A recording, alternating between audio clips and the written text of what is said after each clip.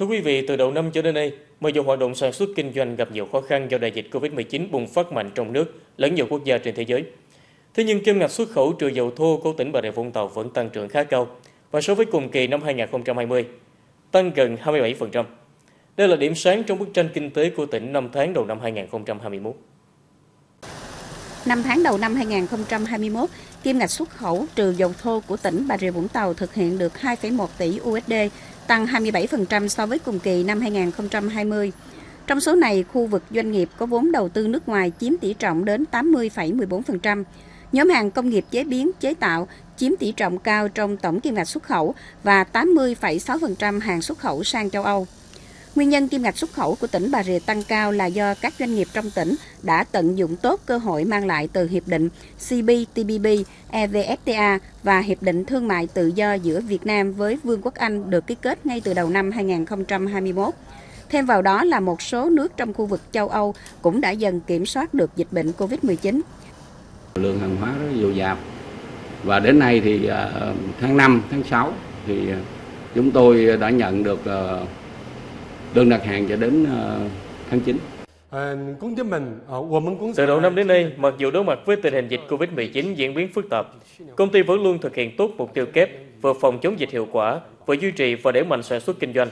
Công ty đã xuất khẩu được 1,6 triệu sản phẩm, tăng 80% cùng kỳ, doanh thu đạt 1,5 triệu đô la Mỹ. Trong đà tăng trưởng, hoạt động xuất khẩu tại Bà Rịa Vũng Tàu vẫn phải đối mặt với không ít khó khăn như trong vận chuyển hàng hóa nhiều chuỗi cung ứng bị gián đoạn, chi phí đầu vào dịch vụ logistics, giá nguyên vật liệu nhập khẩu tăng cao. Vì vậy mà kim ngạch xuất khẩu của tỉnh tuy tăng cao nhưng lợi nhuận của doanh nghiệp không đáng kể. Hiện nay là do vấn đề là Covid, thế nên các nước trên thế giới do thiếu hàng, thế nên là người ta phải chờ hàng, thế nên là cancel suốt. Với hai nữa là từ cái chỗ đó ít hàng nên các hãng tàu người ta phải lên giá để bù đắp lại cái cái cái lỗ thế nên là cái đó là cũng cực kỳ khó khăn để đạt được mục tiêu kim ngạch xuất khẩu năm 2021 là 5 tỷ 691 triệu USD, tăng 6,95% so với năm 2020. Sở Công Thương Bà Rịa Vũng Tàu khuyến cáo các doanh nghiệp tiếp tục nắm bắt cơ hội từ các hiệp định đã có hiệu lực, đồng thời đa dạng hóa cơ cấu sản phẩm xuất khẩu, nâng cao năng lực cạnh tranh của sản phẩm xuất khẩu. Các doanh nghiệp thì cần chú trọng đến các cái vấn đề như là ừ, vệ sinh thực phẩm, các vấn đề về tiêu chuẩn, quy trình quản lý, coi trọng trách nhiệm xã hội, minh bạch hóa thông tin về lao động, môi trường sản xuất để có sự chuẩn bị tốt nhất khi phải đối mặt với những cái biện pháp phòng vệ thương mại. Việc chuẩn bị thì sẽ phải tiến hành toàn diện từ khâu nghiên cứu ừ, cơ hội thách thức của thị trường đến các giải pháp nâng cao chất lượng mẫu mã sản phẩm hay là phát huy các cái lợi thế cạnh tranh và tăng cái hiệu suất.